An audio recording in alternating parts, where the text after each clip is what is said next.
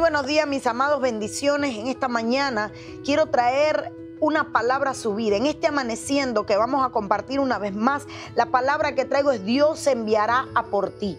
Muchas veces estamos en situaciones donde creemos que no vamos a salir de ella o donde creemos que no va a haber escape, pero siempre hay un escape porque Dios enviará a por ti. Dios envía por sus hijos. En el libro de Hechos capítulo 12 versículo 6, la palabra del Señor dice, y cuando Herodes le iba a sacar aquella misma noche, estaba Pedro durmiendo entre dos soldados sujetos con dos cadenas y los guardas delante de la puerta custodiaban la cárcel. Y aquí que se presentó un ángel del Señor y una luz resplandeció en la cárcel y tocando a Pedro en el costado le despertó diciendo diciendo levántate pronto y las cadenas se le cayeron de las manos. Pedro estaba en la cárcel, Pedro estaba pasando por una situación triste en su vida, Pedro estaba pasando por un momento difícil, Pedro había sido eh, encarcelado, había estaba preso, la iglesia no dejaba de orar, la iglesia no dejaba de interceder por Pedro, allí en el, en el verso 5 lo puede ver, el pueblo de Dios clamaba por la vida de Pedro al saber que Pedro estaba preso, que le habían tomado preso, y de pronto cuando Pedro creyó que, que no había salida, había una doble cadena, doble atadura, doble atadura.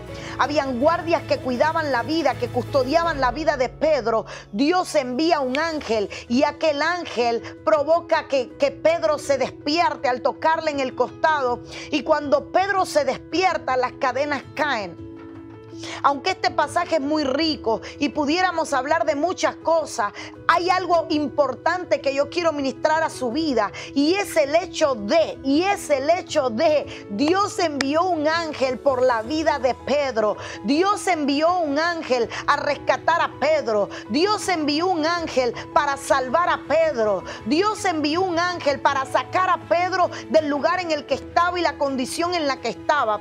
Cuando tú eres un hijo de Dios, Dios va enviar socorro para ti. Cuando tú eres un hijo de Dios, no importa cuál es la cárcel en la que te encuentras, no importa si es una doble cadena la que te está apresando, te está oprimiendo, si es depresión, angustia, si es sufrimiento, dolor, si es duelo, si es hambre, si es necesidad, si es miseria. No importa cuál es la doble cadena que te ata, Dios enviará a por ti. Dios enviará ángeles a tu socorro. Dios enviará gente precisa que llegará tu vida en el momento preciso para sacarte de situaciones precisas.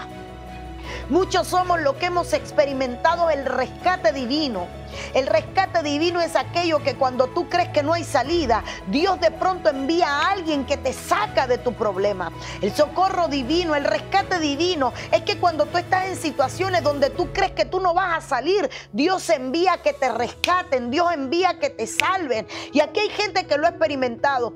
Choques de carro y siguen vivos. Y yo no sé, el carro entero se desbarató y a mí ni un rasguño. Se rompió el cristal, a mí no me cortaron. Hubo un problema en el trabajo, yo sigo intacto. Se cayó un edificio y yo no estaba. Dios me sacó, Dios me salvó, Dios salvó a mis hijos. Yo iba en el vuelo que tuvo problemas y no me monté porque Dios envía rescate por lo suyo.